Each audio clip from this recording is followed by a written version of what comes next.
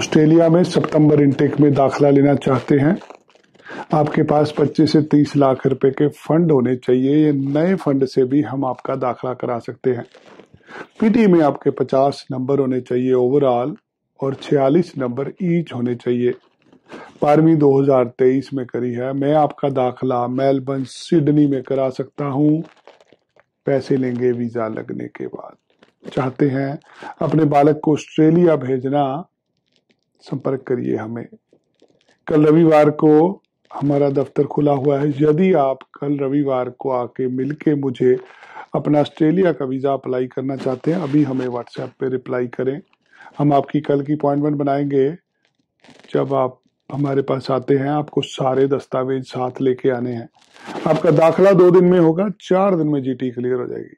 Apply करने के लिए अभी हमें व्हाट्सएप पर मैसेज करें।